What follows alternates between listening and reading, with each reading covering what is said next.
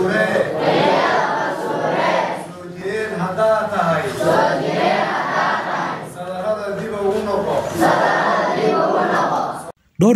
la soo dhaafay waxa ay wadeen u diyaargarow ku aadan gelista imtixaanka shahaadiga oo sanad weliba ay qaado wasaaradda waxbarashada soomaaliya barayaasha ardayda shahaadiga ee fasalka afraad ee dugsiga sare iyo kuwa fasalka sideedaad ee dugsiga dhexe oo ka warsugayey wakhtiga wasiirka waxbarashadu ku dhawaaqayo gelista imtixaanka ayaa mar qura waxay ka war heleen siddeeddii bishan in imtixaanka sanadkan uu halis ugu jiro inuu u baaqdo qarashari soo wajahday dowladda federaalk soomaaliya. Ardayda idiin muuqanaysa waa kuwo ka waxbartay iskuulka al risaala oo ku yaalla degmada dharkiilni ee gobolka banaadir. Waxay ardaydan ka waxbarata halkani ay si weyn isugu diyaariyeen imtixaanka shahaadiga waxayna muujiyeen in si aad ay uga xun yihiin. Hadalkii ka soo yiray wasiirka wasaaradda waxbarashada xukuumadda soomaaliya maadaama ay ku hanweynaayeen gelista imtixaanka shahaadiga. Qaar ka mid a ardaydan oo la dhex qaadnay mikrofoonka muuqaalbaahiyaha s b t v ayaa wax ka weydiina siday u arkaan dib u dhaca ku yimaada imtixaanka iyo u diyaargarowga ay sameeyeen. Marka hore aniga waxaan ka mid tahay ardayda dhigata galaaska sideed ee u diyaargaroobaysa imtixaanka qarniga ee sanadkan allah waxaan ka rajeynayaa inaan ka guulaysano imtixaanka dowladda ee soo socda. Sidoo kale waxaan rajeynayaa guul oo yacni u farxad gelinaysa dhammaan macallimiinta juhdiga nagu soo bixiyay waqtiga. Waxaa kaloo sidoo kale oo rajeynayaa inaan ka farxad geliyo waalidiinteeda iyo dhammaan inta iga sugaysa inaan soo guulaysto. Sidoo kale waxaan aad uga xumahay dib u dhicii ka dhacay dowladda oo yacni dib loo dhigay imtixaanka. Waayo waxaa diyaarsanay waxyaabo badan haddana waxaa laga yaabaa yacni dadka qaar inay isdhigtaan oo isdhahaan waqtigaa idin haray waqtigaasaa ku diyaarsanaysiin. Waqtigan zaa'id ayuu cararayaa kadibna waxaa la gaarayaa imtixaanka dowladda iyadoo la dhahayo beri waaye. Markaasay dadka isdhahayaan yacni waa laga naxayaa waxaan waan ka xumahay dib u dhaca ka imaaday yacni imtixaanka dowladda ee sanadkan aan gelinay haddii aan nahay ardayda bahda risaale ee galaaska fonfoor ee sugaysa imtixaanka shahaadiga dowladda. Waxaan horta waxaan soo wadnay muddo aad iyo aad u dheer. Waxaan haddana waxaan taagannahay bartii ugu dambeysay exaamka oo haddaan muddo dhow aan sugayno haddii aan nahay bahdii risaalana wax kale noogama dhibnaya waxaan reedi u nahay oo diyaar u nahay inaan imtixaankii aan galno aan rajeynayno inaan mar dhow gali doonno oo haddii aan nahayna bahdii risaalo aan caadan u lahayn inaan ardaydeena aydan dhicin oo muddo badan ardaydeena iskuul imtixaanka dowladda ay soo galeen. Ardayda inaga horeeyeen ay ku baaseen buundo wanaagsan oo buundo fiican. Annagana waddadooda aan ku taagannahay macallimiinta iyo wax bareen ayna joogaan. Anagu kuma farxin waayo waxaa naga soo baxay waqti badan oo muddo dheer ayaan soo wadnay aan sugaynay xitaa wasiirka markaad maqalnay inuu wasiirku war soo saari doono waxaan rajeynayna inuu imtixaanka soo sheegi doono maalmaha soo aadan marka haddii aan maqalnayna waxaan rajeynayna oo kale anigu kumanaan farxin waan ka naxnay waayo anagoo u soo diyaar garownay inaan imtixaanka galno aan maqalnay waxaan qar ku saarana inaan gelin marka arrintaas waan ka naxnay. Walaahi annaka ka foonfoor ahaan risaale ahaan si fiican ugu diyaargarownay inkastoo hadda la dhahay dibaa loo dhigay anaka dib in loo dhigay xitaa kumaana faraxsanayn oo arday diyaarsan. Marka qofka uu diyaarsan yahay inuu xamaasad ay hayso waa ka dareemaysaa.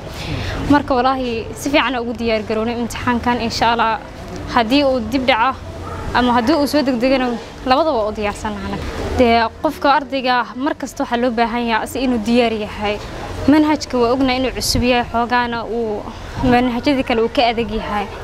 Marka walaahi si fiican waa ugu diyaargarownay waxaan rajaynaynaa annaka ka risaale ahaan inuusan arday naga soo dhicin oo gedigan aan soo wada baxno soo wada baasno. Ardayda ugu horeyso imtixaanada aan noqona rajaynaynaa insha allah. Dib u dhaca ku imaada imtixaanka dowladda waxaan u arkaa in aninkuna waa ka soo nooronta.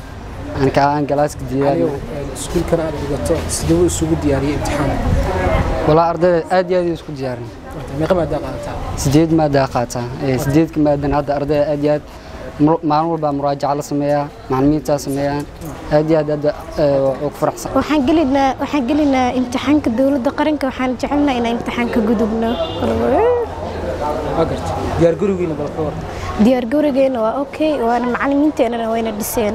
Horta arrintaas wax waa ka ognahay waxaana dareemnay farxad maadaama anaga imtixaanka aan rabnay inaan wax badan aan sii diyaarsano waana ka faa'iideynaa. Marka waxaad leedahay imtixaanka in uu dib u dhaco farxaday noo tahay. Farxaddaas maxay tahay marka? Farxaddaas waxay tahay? Maadooyinkeena gadaal inku akhrisan doonaa. Runaantii aadaan u saameeyey sababtoo ah waxaan ahayn dad intaan ku dhawaad laba iyo toban bilood ee iskuul isku soo diyaarina ee fasalka form four. Una diyaar ahaa inay ka qayb galaan imtixaanka qaranka. Warkaasna wuxuu ahaa mid aad mid aad u dhaawacay aan ka niyad runaantii maadaama wixii baa san dhan soo diyaarinaysay la qalqa geliyey laga dhigo probability laga dhigo inuusan dhicin inuusan dhacayo. Midaas aad ugu xumaanay. Waxaan rajaynaynaa inay wax walba hagaagi doonaan si hagaagsan ugu soo dhammaan insha allah. Maamulaha iskuulka risaalo oo la kulanay ayaa dhankiisa wax ka weydiinay sida uu arko ka maamul ahaan dib u dhaca ku yimaaday imtixaanka iyo diyaargarowga ay sameeyeen ardayda iskuulkan ka waxbarata. Bismillaahi raxmaan raxiim marka ugu horeyso magacii waa cabdirasaaq cumar maxamed. Waxaan ahay maamulaha iskuulka dugsiga hoose dhexe sare ee arisaala waxaan halkan ka salaamayaa dhammaan ummadda soomaaliyeed meel kastoo joogaan. Bacdisalaan xaqiiqdii iskuulka arisaala waa iskuul asaasan muddo koo iyo toban sano. Wuxuuna ahaa iskuul intii sano ugu dambeysay imtixaanaadka dawliga ahaa ka qayb qaatay waa iskuul u soo taagan inuu qayb ka noqdo dadka soo saara iskuullada soo saara ardayda soomaaliyeed waxbarashada tayada leh. Iskuulka intuu asaasan yahay waxyaabaha iskuulka lagu xusi karaa waxaa ka mid ah aad iyo aad ayaan ugu dadaalnaa ardayda waxbarashadooda inaysan ka harin imtixaanaadka shahaadiga ah inaysan ardayda ku dhicin imtixaanaadka shahaadiga. Inkastoo shalay warbixin soo baxda ahayd in wasiirka sheegay macallimiintii imtixaanka ilaalinayay in lacagahoodii hore aan la siinin. Taasoo carqalad hor leh ku noqotayna ardayda soomaaliyeed waxay ka murgaan. Runtii waxaan rajaynaynaa inay ku soo dhammaato wanaag ka iskuul ahaan annaga waxaan diyaar u nahay markasta inaan qayb qaadano waxbarashada inaan qayb qaadano imtixaanaadka dowladda inaan soo saarno arday tayo leh. Ardaydaasoo casharadooda darsiga loogu talagalay sana dugsiyeedkan aan u soo idleynay aan u soo diyaargarownay diyaarna u yihiin inay imtixaan ka qayb qaataan.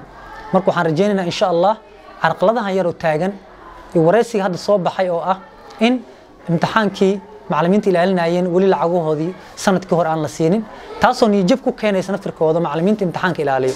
Marka waxaan meeshaan ka codsan lahaa ardayda soomaaliyeed way taagan yihiin diyaar ayay yihiin. Mana rajaynayaan insha allah in niyad xumo ay kala kulmaan dhanka imtixaanaadka dowladda. Ardaydaasoo in muddo ah soo sugaayeen waqtiga juhdi soo geliyeen casharadooda loo dhameeyey sugayaan inaad ka soo baxayso warqadda xilliga imtixaanka ay galayaan. Ma ahayn xilligaa inay maqlaan imtixaan dib u dhacay imtixaankii calaama su'aala saaran ma ahayn. Marka insha allah waxaan rajaynaa in la xaliyo. Marka ugu horeysa horta waxaa weeyaan ardaydan soomaaliyeed markasta waxay diyaar u yihiin inay imtixaan galaan. Waa arday loo soo diyaariyey shahaadiga fonfoorka iyo sideedaadka inay qayb qaataan imtixaanka. Ha ahaatee carqaladan soo baxday xaqiiqdii waxay nagu keenaysaa murug ayay nagu keenaysaa. Waayo ardaydii su'aalaha markasta ayna weydiiyanaya waxaa ka mid ah waqtigee ayaa imtixaanka galaynaa. Marka insha allah waxaan u rajaynaynaa insha allah kulley ur wanaagsan uu ka soo baxo. Laakiin haddii micnaha natiijo soo buxweysay oo arrintan ay sii socoto waxaan u malayn doonaa kulley in warbixin cad ay soo bixi doonto. Waayo ardaydan soomaaliyeed waxay sugayaan waa imtixaan. Waqtigii imtixaankana wuu taagan yahay. Runtii ardayda horta waxa ugu muhiimsan waxaa weeyaan intaasoo sano juhdi ay u soo bixinayeen saa og tahayna ardayda soomaaliyeed waxaa weeyaan wax lacag ka bixiya ma jiro iskuulaha. Waxaa weeyaan waalidkooda dadkooda waa xoog maalato. Lacagaha jeebkooda ay ka bixiyaan. Arday muddo labayo toban sano lacag soo bixinayay oo waxaa weeyaan waalidkii intaasoo juhdi ku soo bixiyey ayadoo duruufo badan ku xiraarsan tahay.